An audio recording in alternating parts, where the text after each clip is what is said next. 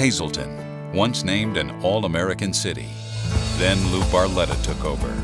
Property taxes rose 70%. Earned income tax up 20%. Unemployment, worst in Pennsylvania. Doubled the deficit. Raided the pension fund. Lou Barletta's plan would devastate seniors and working Pennsylvanians. Barletta, bad mayor, worst congressman. I'm Paul Kanjorski, and I approve this message.